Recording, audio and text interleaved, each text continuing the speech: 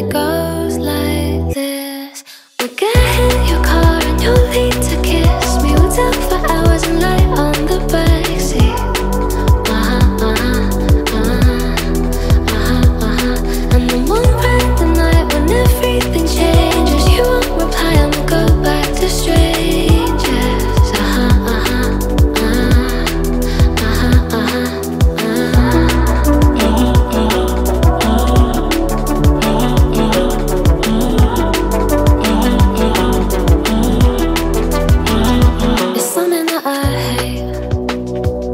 everyone's disposable.